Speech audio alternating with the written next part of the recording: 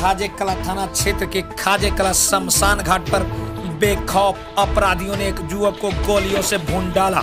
युवक की मौत बौकाए वारदात पर ही हो गई। मृतक की पहचान राहुल कुमार के रूप में किया जा रहा है। बताया जाता है कि मृतक शमशान घाट पर मंजिल में आया था। चिता में आग लगने के बाद ही शमशान घाट पर गोलियों की तड़तड़ाहट गूंजने लगी। लोगों में अफरा तफरी मच गई। उसके बाद देखा गया कि एक युवक की हत्या कर दी गई। और अपराधी आराम से निकल गए। थाने से महज कुछ ही दूरी पर अपराधियों ने ताबड़तोड़ गोलियाँ बरसाकर राहुल को मौत के नींद सुला दिया जिसके बाद इलाके में दहशत का माहौल कायम है। Bureau report news prime twenty four team है? तो है।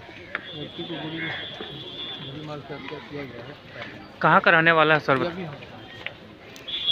हुआ है? क्या कुछ घटना घटी है? यहाँ पे आग देने के बाद लगी गोली चलने लगा था। कहाँ के लोग? ये नहीं पता कहाँ का। कौन मारा सब।